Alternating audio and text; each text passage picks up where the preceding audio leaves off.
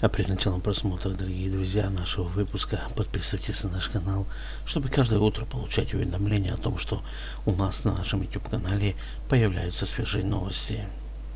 Сегодня ночью бригада скорой помощи в одной из больниц города Москвы была в срочном порядке госпитализирована известная советская российская киноактриса Алена Бабенко. На данный момент есть сообщение от врачей, которые ей оказывают медицинскую помощь, сообщают о том, что у Алены Бабенко диагностировали серьезное отравление неизвестными медицинскими препаратами. Что произошло с ней, более подробнее пока никто не знает. Родственники пока всячески отказываются что-то комментировать, скорее всего не хотят, чтобы это все появилось в новостях.